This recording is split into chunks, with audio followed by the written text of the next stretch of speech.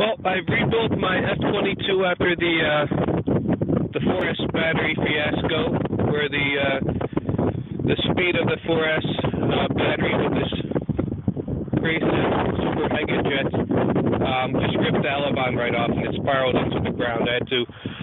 Luckily, the front nose just broke in that uh, centerpiece there. Was able to fix that, but the elevons I beefed up.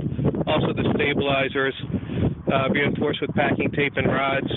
Um, I also, because Crankshaw um, was talking so highly of the uh, 7x5 prop, I've enlarged the opening for the prop and uh, put the control arms on the outside of the plane.